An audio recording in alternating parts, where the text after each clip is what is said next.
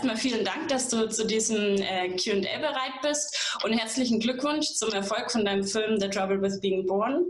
Du hast äh, damit den Spezialpreis der Jury gewonnen auf, äh, in der neuen spannenden Sektion Encounters auf der Berlinale, hast auf der Diagonale vier Preise abgeräumt, darunter ähm, den Preis für den besten Film, warst in San Sebastian nominiert ähm, und vieles mehr.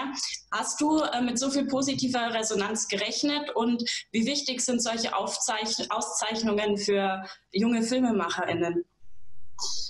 Ähm, also erstmal schön, dass wir dieses Gespräch führen. Ich freue mich sehr, dass äh, das Transit Filmfest äh, den Film zeigt und quasi wir dann auch mal die Möglichkeit haben, auch äh, in Deutschland sozusagen, vor unserem Kinostart auch ähm, den Film zu zeigen. Ähm, ich glaube, rechnen tut man damit ja nie. Also, weil könnte man das berechnen oder würde man sich darauf verlassen, wäre es, glaube ich, ein anderer Film. Dann würde man mit anderen ähm, Quotenmetern äh, eigentlich arbeiten. Aber ja, es war, also es hat uns schon umgehauen natürlich, wie viel Gutes da jetzt passiert ist und dass das so gut angekommen ist. Und das ist natürlich, glaube ich, schon dem Staat auch zu verdanken, eben bei der Berlinale. Und wir waren unfassbar froh, auch in dieser Sektion zu landen. Und äh, ich hatte das Gefühl, dass das da einfach sehr gut reinpasst. Und Wichtig sind die natürlich, äh, diese Preise, vor allem für den nächsten Film auch. Also man merkt halt so, ich hatte es bei meinem letzten Film gemerkt, wenn ich im dritten Jahr meines Studiums gemacht habe. Äh, der heißt Das unmögliche Bild und ist sozusagen auch schon gut gereist für diesen äh, kleinen Film. Und auch da habe ich gemerkt natürlich, dass die die positiven Rückmeldungen oder diverse Preise dich überhaupt erst auf den Radar bringen und du bei ganz pragmatisch auch bei Förderanstalten oder bei Redakteuren überhaupt quasi erstmal Gehör bekommst. Und das ist äh, wichtig für den nächsten Film, klar. Ja, bestimmt. Ich bin auch schon sehr gespannt auf deinen nächsten Film. Ähm, in Trouble with Being Born erzählst du ja die Geschichte von Ellie, einem Androidenmädchen, ähm, das zunächst bei einem Mann lebt, der sie nach den Erinnerungen an seine verschwundene Tochter programmiert hat. Ähm, Ellie als Androidin wird ja auch so insgesamt Projektionsfläche für die Erinnerungen, Gefühle und Bedürfnisse ihrer jeweiligen BesitzerInnen. Du hast auch gerade schon deinen ähm, ersten Film angesprochen, das unmögliche Bild. Da hast du dich ja auch schon mit dem Menschsein und mit Erinnerung als identitätsstiftendem Narrativ auseinandergesetzt. Ähm, was interessiert dich so an dieser Thematik? Woher kommt dein Interesse daran? Ich glaube tatsächlich, das, was du gerade gesagt hast, nämlich äh, Erinnerung als das identitätsstiftende Narrativ, als das Narrativ, das unserem Leben auch eine Form von Bedeutung und überhaupt Überschaubarkeit gibt. Das quasi, würde es die nicht geben, rutscht man in ein vielleicht völliges Chaos sozusagen. Was hat dann noch eine Bedeutung? Und das finde ich spannend. Das finde ich natürlich auch spannend, ähm, sozusagen. In meinem letzten Film hatte ich versucht zu ergründen, wie kommt es überhaupt zu einer Erinnerung. Das ist ein Film, der spielt in den 50ern und ähm, arbeitet mit, tut so, als wäre es sozusagen ähm, Familienarchivmaterial und wird allmählich zu einer Erinnerung.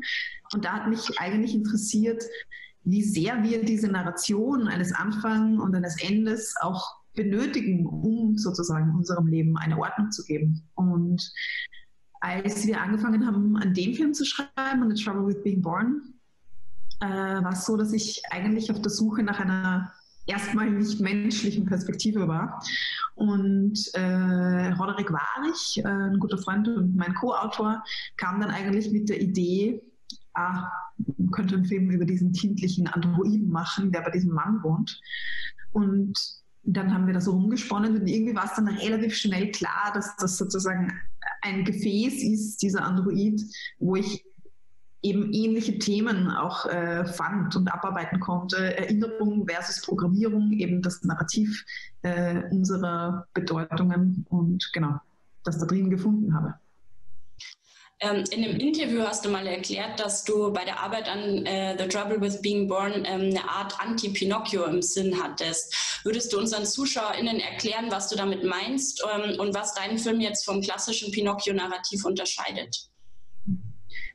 Also ich habe das Gefühl, prinzipiell, wenn wir über Filme oder an Filme über AI, also künstliche Intelligenz, denken, gibt es eigentlich meistens zwei klassische Narrative. Das eine ist so, entweder die AI übernimmt die Welt und löscht den Menschen aus oder genau oder eine macht eine Utopie daraus.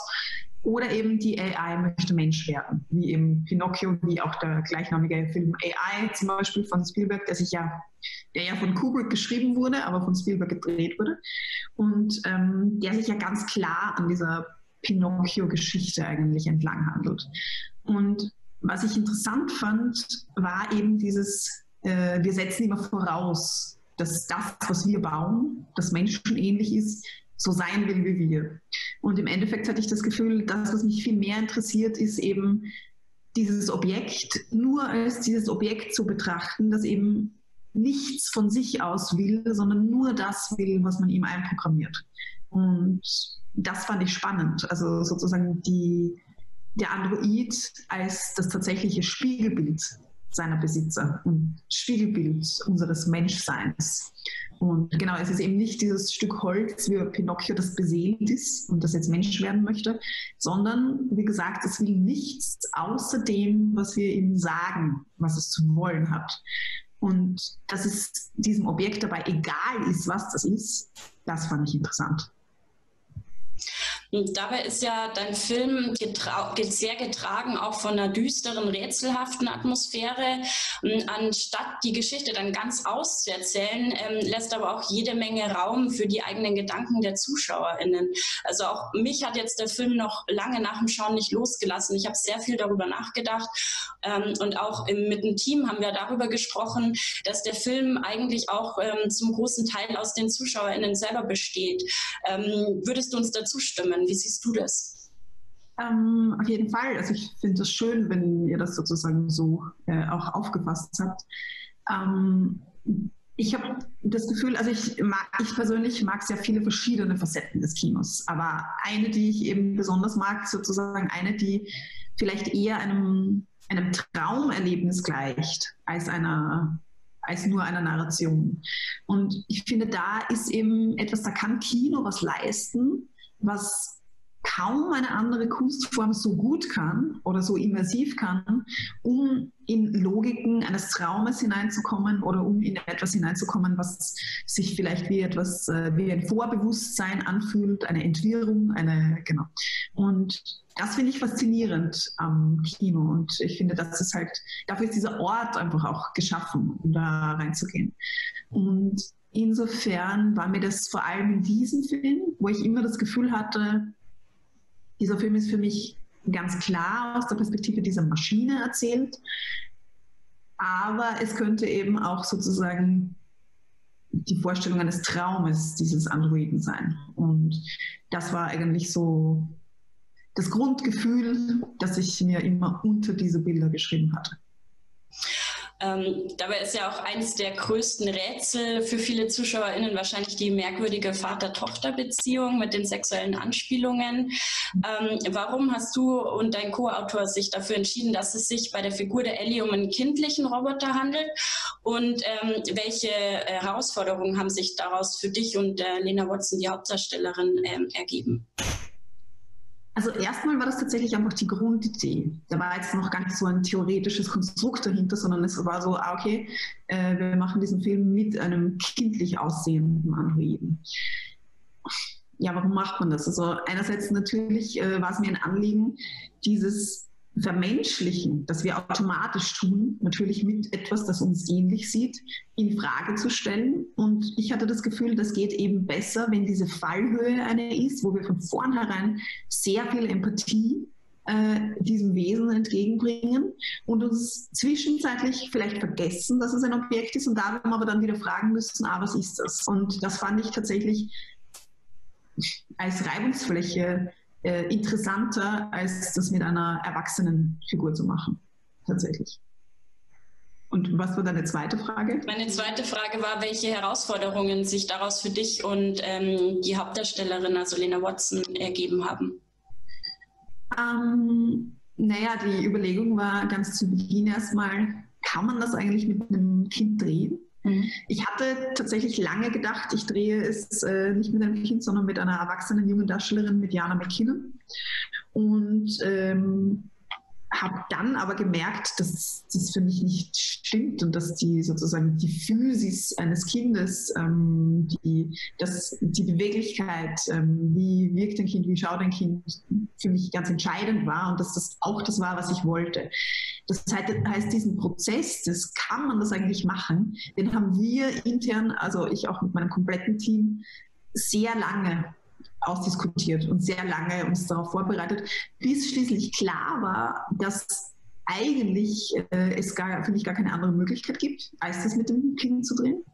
Und äh, natürlich hat es uns vor die Herausforderung gestellt, wie thematisiert man dieses Thema, all diese Themen. Es geht ja nicht nur um die äh, um die ähm, komplexe, merkwürdige, gefährliche Sexualität eines Mannes, sondern auch um Trauer und um Tod und um äh, ganz viele Dinge, die sozusagen erstmal nicht äh, auf den ersten Blick kindgerecht erscheinen.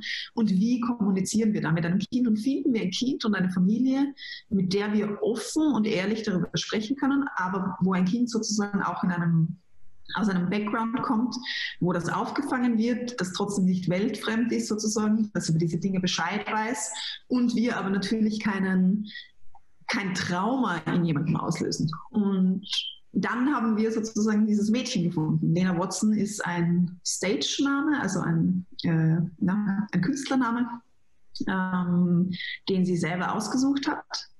Und wir haben einfach über eine ja, auf eine kindgerechte Weise, wie man das, glaube ich, ohnehin machen muss, wenn man diese Themen behandelt, über diese Themen gesprochen. Und das war das Essentiellste. Weil alles andere, was wir im Film sehen, die komplette Kontextualisierung von Sex, von Tod, von allem, kam erst in der Postproduktion dazu.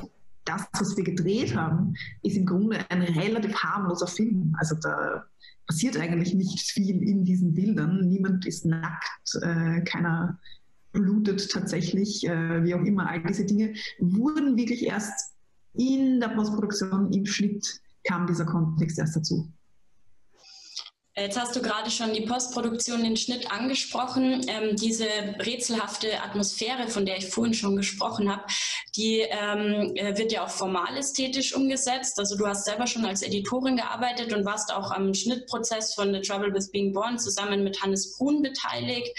Daneben ist es auch das äh, vielschichtige Sounddesign von Peter Kutin, ähm, das eben dieses Unbehagen und die Beklemmung, die einen als Zuschauerin begleitet, ähm, noch verstärkt. Könntest du uns was ähm, zu dieser ästhetischen Gestaltung erzählen und zu der Idee dahinter? Also tatsächlich ist dieser Film komplett in der Postproduktion entstanden. Und das meiste der Struktur ist auch quasi im Schnitt entstanden.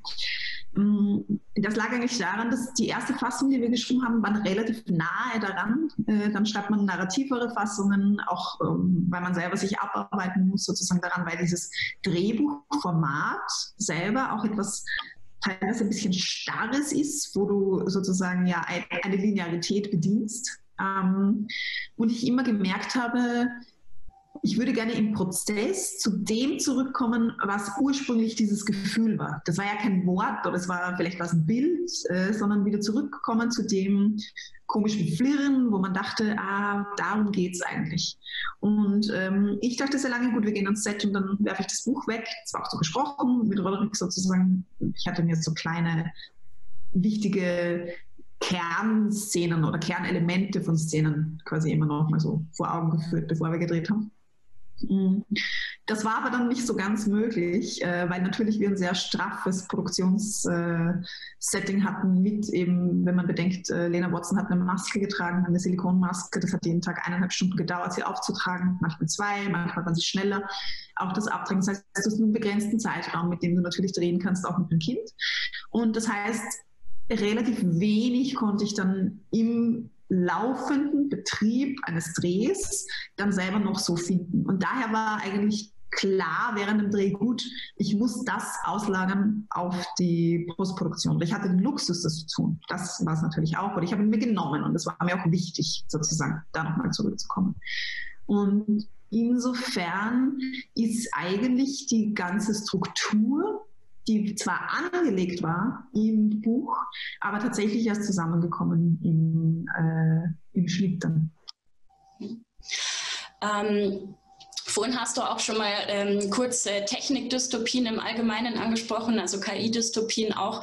Ähm, wir haben im Sichtungsprozess auch äh, mit dem Team viel darüber diskutiert, ob äh, und wenn ja, inwiefern es sich bei deinem Film um eine Technikdystopie handelt. Äh, wie würdest du The Trouble with Being Born selber verorten?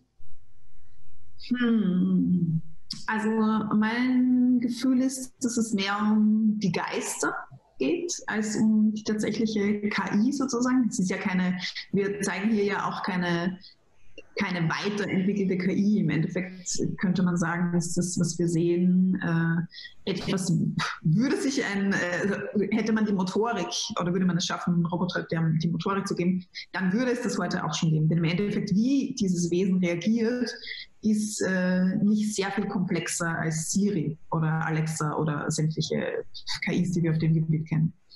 Und insofern habe ich das Gefühl, tatsächlich, es ist mehr ein Film über Geister als über eine wirkliche AI, die aber natürlich, weil ich glaube, jeder AI-Film ist quasi ein Film auch über Geister. Ich meine, denken wir an Ghost in the Shell, weißt du? Und ist sozusagen sind die immer Gefäße, ähm, die unsere Identitäten versammeln. Ähm, jetzt, wo wir schon beim Thema Dystopie, Utopie, also unserer Zukunft sind, ähm, würde ich auch schon mit meiner letzten Frage gerne anschließen. Ähm, und zwar, was würdest du dir für die Zukunft des Kinos wünschen?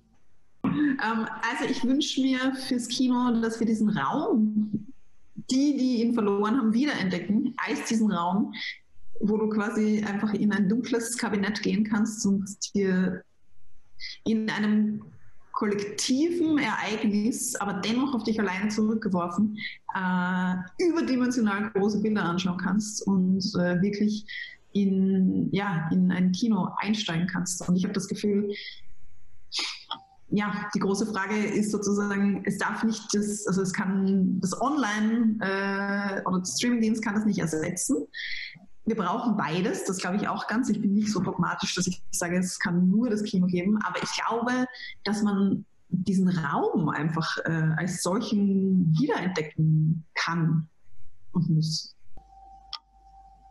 Vielen Dank für das sehr interessante und äh, schöne Interview. Danke, dass du dir die Zeit genommen hast. Ja, danke schön, dass ihr euch die Zeit genommen habt.